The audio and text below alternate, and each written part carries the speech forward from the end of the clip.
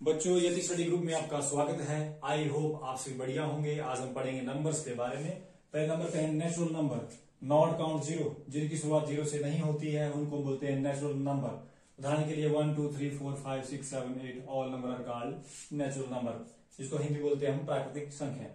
Number दो पे है whole number from zero onward जिनकी शुरुआत ज़ीरो से होती है, उनको हम बोलेंगे होल नंबर उदाहरण के लिए zero one two three four five six seven all number are called whole number, जिसको हिंदी बोलते हैं पूर्ण संख्याएँ। नंबर तीन पे है इंटीजर नंबर जिसको हिंदी बोलते हैं पूर्णांक संख्याएँ।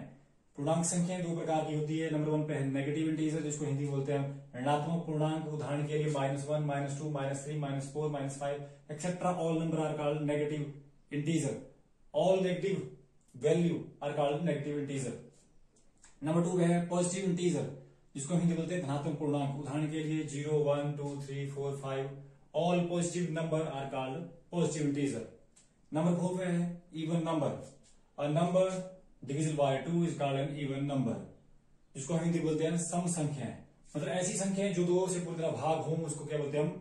इवन नंबर मतलब सम संख्याएँ उदाहरण के लिए zero two four six eight ten twelve fourteen etcetera are called even number number five पे है odd number a number not divisible by two is called an odd number जिसको हिंदी बोलते हैं विषम संख्याएँ।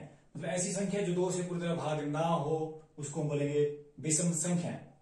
उदाहरण के लिए one three five seven nine eleven thirteen etcetera are called odd number number four number six पे है प्राइम नंबर जिसको हिंदी बोलते हैं अभाज्य संख्याएँ।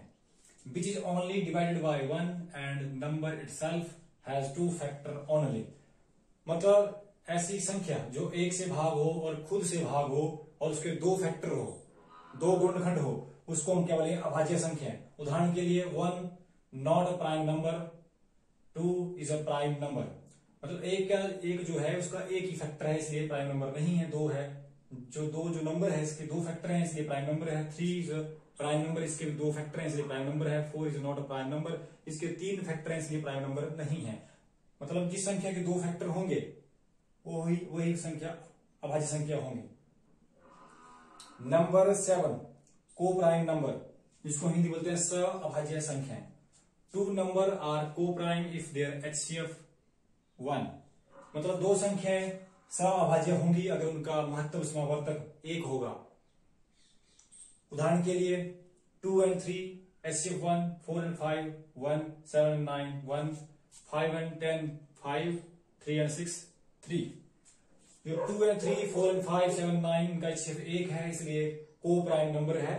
और five and ten and three and six का फाइव एंड थ्री है इसलिए को प्राइम नंबर नहीं है। एच uh, जो है उसको हम बोलते हैं हायर कॉमन फैक्टर बोलते हैं इंग्लिश में। वो मतलब एक होगा तभी को प्राइम नंबर होंगे सभाज्य संख्या होंगी। तो आई होप स्टूडेंट आपको ये समझ आया होगा। Thank you